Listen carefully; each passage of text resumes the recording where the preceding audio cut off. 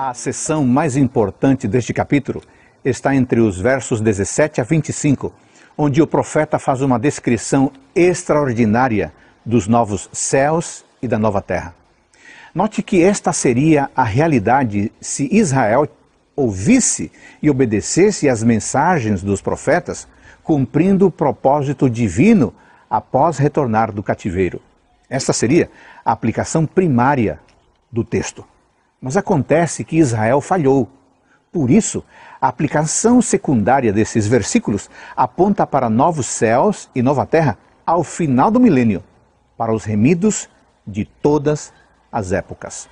Sobre os novos céus e a nova terra, nós lemos que serão lugar de constante alegria, justiça, saúde, equidade, trabalho produtivo, convivência totalmente sadia do ser humano com a natureza, paz e o melhor, a constante assistência de Deus em nosso favor.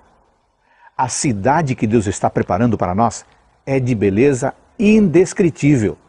Mas o melhor não será a beleza do lugar, e sim a presença do Pai, que sempre estará conosco. Prepare-se desde já para você fazer parte da nova terra.